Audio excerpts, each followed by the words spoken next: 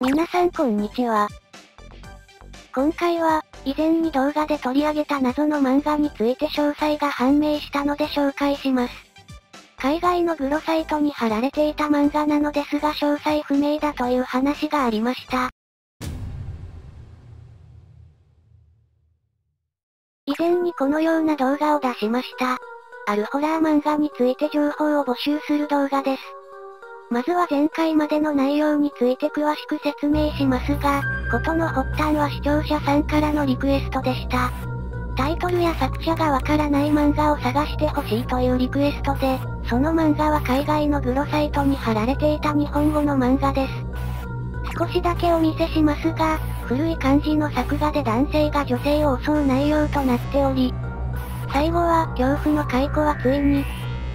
というところで終わります。この漫画が7ページほどネットに出回っている形跡がありました。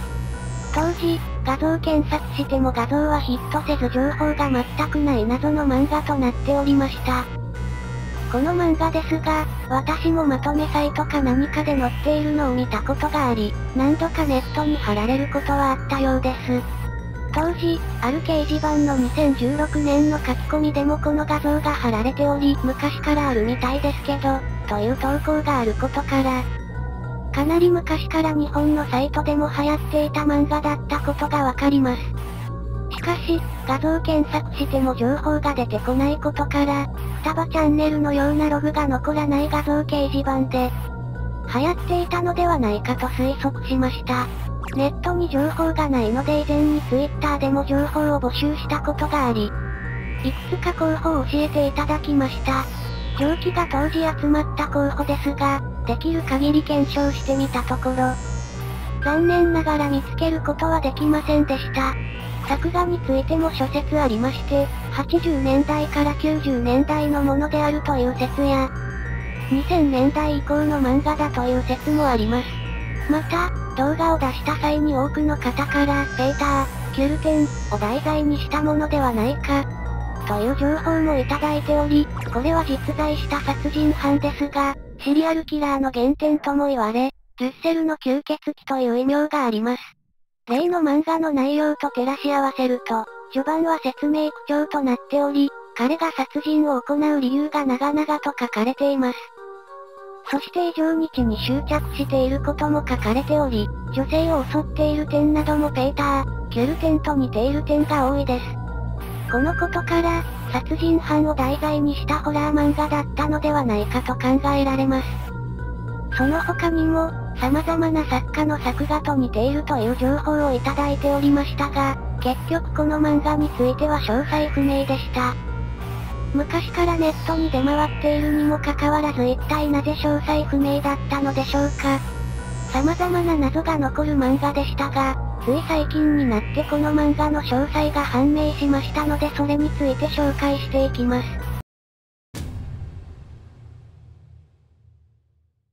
まず、発見された経緯についてですが、最近唐突に海外の方から漫画の詳細を教えていただきました。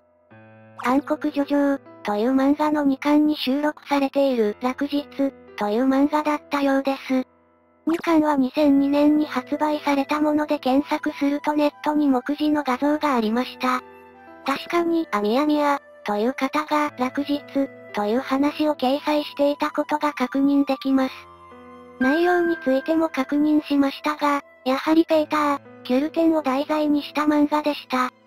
序盤に、1833年に3人目の兄弟として生まれた、と紹介されており、実際の人物と情報が一致します。中盤までは名前が出てこないものの、最後にこの日から犯罪師に名を残すデュセルドルフの恐怖時代が始まる。怪物ピーター・キュルテン、という名前が明かされて終わります。ちなみに、恐怖の解雇、というワードは、ペーターが幼い頃から極貧で醜悪な生活を送っていた経験から、人生というものを、労働と生殖が人生の全てで自由を知らない。まるで絹糸の生産と支配のみに生きる解雇ではないか、と表現しており、彼自身も犯罪哲学という眉の中で成長した恐怖の解雇であるということらしいです。この漫画、アンソロジーコミックなのでおそらく続きはないと思われます。というわけで、今回の漫画の正体が判明したわけですが、今まで出てきた推測を見てみるとまた面白いんですよね。古い絵柄であるという意見が多く、私自身も80年代から90年代の漫画ではないかと思っていたのですが、ウィキでいただいたコメントで、小回りや黒塗りの修正が80年代には見えず、2000年代以降である、という推測がありました。今回の漫画、2002年に発売されたものでありアンソロジーコミックなのでおそらく掲載されている漫画もこのコミックが初出でしょうし、2000年以降という情報が当たっています。詳しい人であればわかることなのかもしれませんが、すごいですね。さらにもう一つ、実はリクエスト主さんからいただいた情報に答えが出ていました。リクエスト内容の中に似たような絵のタッチとしてはミヤミヤという成人向け漫画の作家が考えられるものの該当する情報は発見できず、という情報がありまして、作者であるアミヤミヤさんの名前が出ていたんですよね。しかしながら、作者の名前で検索しても例の漫画を見つけるのは困難で、やはり知っている人でないと難しいかもしれません。というのも、アンソロジーコミックで、複数の作者が関わっている漫画なので、作者の名前で検索してもヒットしづらいんですよね。なので、題材になった人物や作画の年代、作者まで情報が判明しており、実は惜しいところまで判明していたわけです。こうして答えが分かってしまえば、惜しいなと思うところですが、